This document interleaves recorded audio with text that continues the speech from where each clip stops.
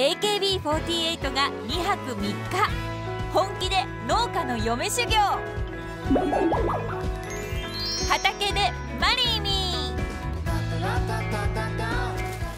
相続事業承継のランドマーク税理士法人の提供でお送りします。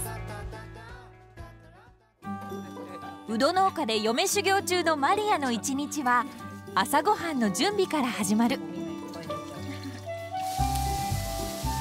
今日のメニューはうどの肉巻き。いただきます。頑固一徹無口なお父さんを中心に簡単な打ち合わせ。その後農作業をこなしながら休憩のためのお茶の用意。お茶持ってきましたよそして息つく暇もなく大量の洗濯。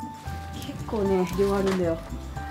肩のところにかけといてすごい。プロ。パラってやると プロだ。時短ができる。そんな中今夜は男性陣がお出かけのため束の間の息抜き。急遽フレンチで女子会を開催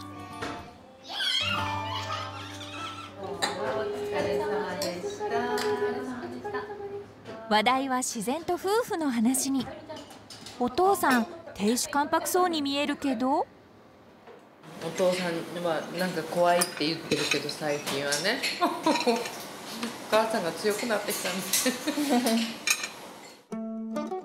結婚して35年。どんな時だってずっと畑の中で一緒だった2人365日お父さんと一緒なのよ。だからね喧嘩してもあ今日は絶対口聞いてあげないと思うんだけどあらいつの間にか喋っちゃったわお父さんと。だから農家ってああいいなって。なんか楽しさが伝わってくるんですよ 女が強いと農家は安泰。強い嫁目指して頑張ろう 来週はいよいよお別れの時。